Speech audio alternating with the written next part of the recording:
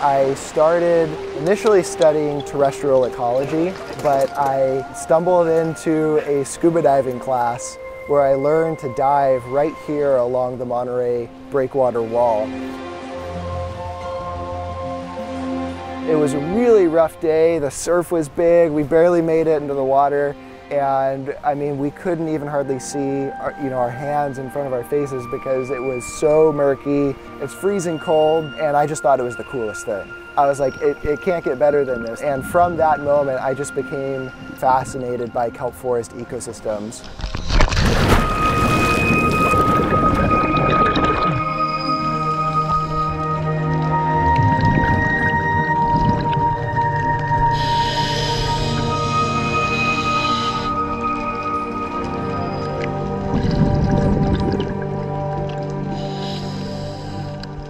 My name's Josh Smith, and I am a postdoctoral researcher at the National Center for Ecological Analysis and Synthesis. I've been studying kelp forest ecology for about 11 years. Most of my research has been specifically in Monterey Bay.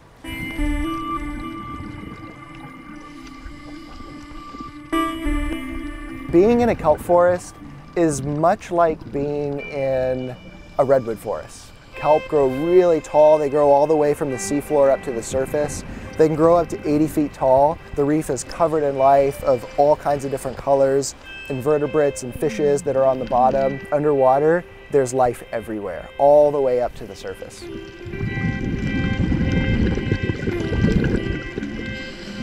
We set up surveys years and years ago. Uh, they started in 1992. It was in response to the Exxon Valdez oil spill, which was up in Alaska but there was this recognition that we knew very little about these habitats. And if we were going to be able to assess damages, you kind of needed to know what was there. And one of the things that affords, of course, is that you have the opportunity to see change. And you can see that there are these coastal ecosystems, kelp forest and rocky intertidal areas, and things come and go and they change. My name is Pete Raimondi. I'm a professor at UC Santa Cruz in the Department of Ecology and Evolutionary Biology. My primary interest is in kelp forest along the coast of California and rocky intertidal areas, which we think of as tide pools. Back when we were diving this area 2012, 2013, the kelp was so thick that we'd have to anchor the boat way out here and then swim under the canopy to get to the location where we were going to do our surveys. Now we can pretty much just pull up right to our dive site, you know, drop anchor and go. But in 2013, things began to seriously change.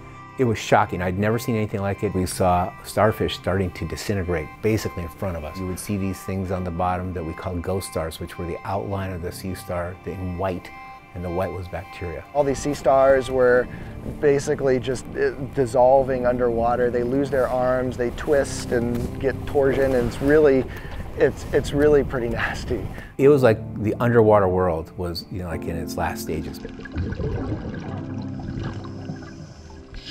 That sea star wasting syndrome decimated several species of sea stars up and down the coast. One species that was hit particularly hard was this sunflower sea star that we call Pycnopodia.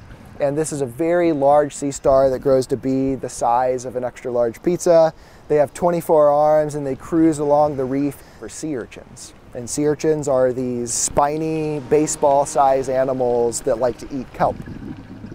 Now, normally in a kelp forest, these native sea urchin grazers are living down tucked away in the cracks and crevices, and they're eating drift kelp. In 2014, we had a major marine heat wave. These marine heat waves are a product of climate change, and all of these anomalies are like nothing we've seen, you know, in the last, you know, 100 years. One was the blob, which was this really warm seawater that showed up in the northeastern Pacific Ocean, and the other was this warm equatorial water that came up that was from a major El Nino event.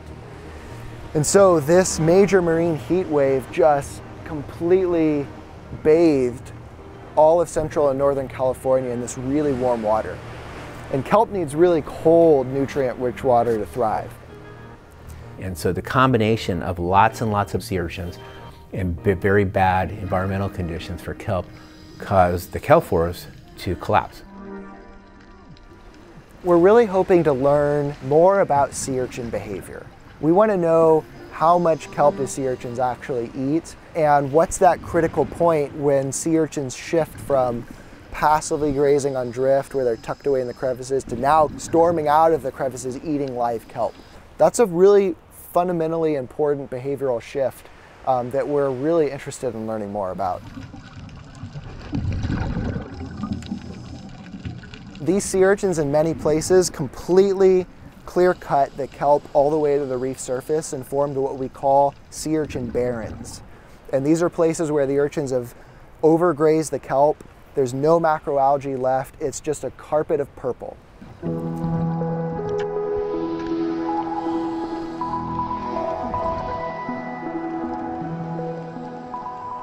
We've discussed the sea urchins that eat kelp, and we discussed the sunflower sea star, which is a known predator of sea urchins. There's another predator of sea urchins that we have here in Monterey Bay, and that's the southern sea otter.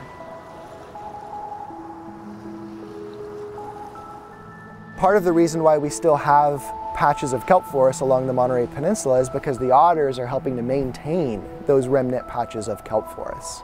They are targeting the healthy urchins in those patches of kelp. However, because the otters are not foraging on sea urchins in the barrens, they're not actively contributing to recovery.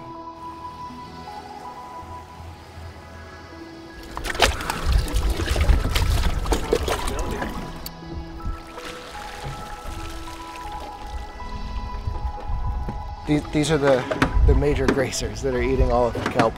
So these urchins, again, they emerged from crevices and, and they were no longer eating drift and they started eating live kelp. So in the lab, we're looking to see what actually causes that behavioral shift. How do predators play a part in that?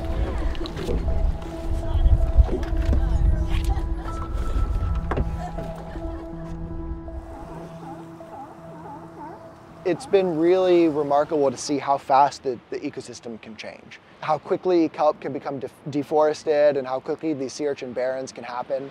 And I wish I could just look back into time and see how often does this happen before? How long did the barrens persist? Were there barrens? Because to us it seems like this happened really quickly, we lost all the kelp. I have to, you know, remind myself that my perception and my window into these changing forest ecosystems is just a fraction of time on the geologic timescale. The kelp forests seem to be recovering right now. And you know, we're in a period of really cold water and at least recently and things seem to be coming back and we're in a pretty fortunate situation to be completely honest because I think that unlike a lot of environments people actually are very interested in this.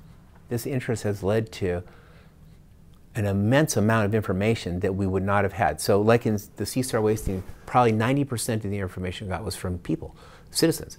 And that's because they're interested and they care. And so I think that that's a huge plus. And you know, I would just hope that that stays. It's hard to speculate about what might happen. These are really dynamic ecosystems. There are all kinds of invertebrates and birds and things that depend on kelp as a subsidy. The kelp also ends up in, you know, offshore and in the canyon. And so the kelp that's ripped out eventually makes its way offshore, some of it sinks down. It's not just important for the animals that live there, but um, kelp forests are also fundamentally important in buffering climate change. And one way that they do that is like plants on land, kelp actually take in CO2 and when that kelp is ripped out and transported offshore, that carbon that the kelp has, has captured is ultimately sequestered into deep sea sediments. And what's so great about kelp? You're not convinced already? Well, kelp is kelp is what we call a foundation species. So it, it supports the entire forest ecosystem by providing habitat and food for all of the animals that live here. With all of these changes that are happening, what we're seeing is the foundation being unraveled. It's being deforested.